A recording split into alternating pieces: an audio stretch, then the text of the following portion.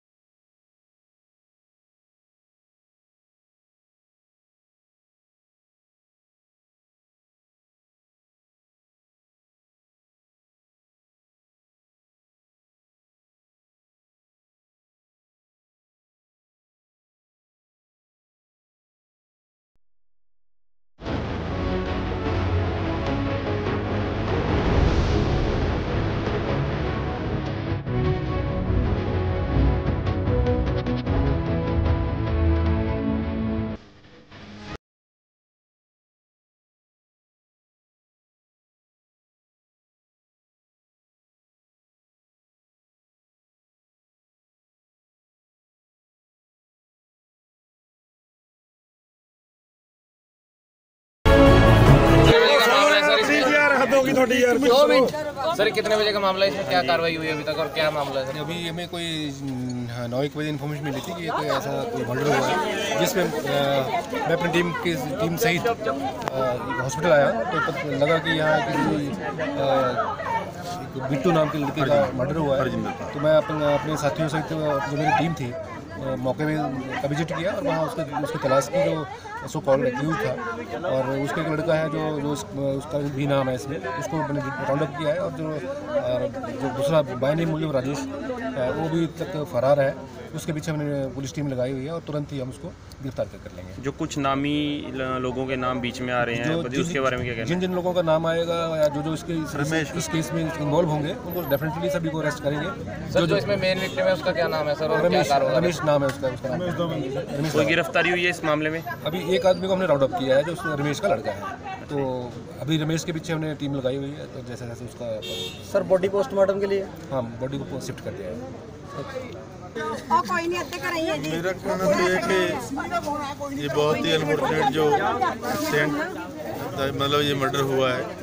तो इसमें रमेश नाम का बंदा सुबह से दोपहर से वहाँ पे मौजूद था और इनका कंस्ट्रक्शन का काम बिट्टू भाई का चला हुआ था। मेरा कहना तो ये कि ये बहुत ही अनफॉर्चुनेट जो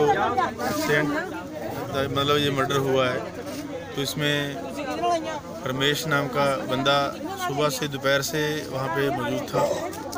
और इनका कंस्ट्रक्शन का काम बिट्टू भाई का चला हुआ था। तो इन्होंने पुलिस में भी दोपहर को कंप्लेंट लिखाई थी, रमेश ने उल्टा इसके ऊपर। तो पुलिस ने इनको थाने बुलाए, थाने गए। उसके बाद फिर वहाँ वापस गए। फिर उन्होंने इन्होंने कहा, सुनी हुई या क्या हुआ, भगवान जाने। कोई दो लड़के हमारे गाँव के साथ हुए, खेत में काम करते थे, जो आई विटनेस हैं इसके, उन्होंने उसको, बिट्टू को जो है वो छुड़ाया। और जो अभी हमें पता लगा कि उसको खींच के ले गए, वहाँ से उन्होंने उसको छुरों से और तेज धार से, सिर में करीब दस जगह उनको छुरे मारे गए हैं। और तेज धार से उसकी बाजू काटी गई है, उसकी टांग काटी गई है।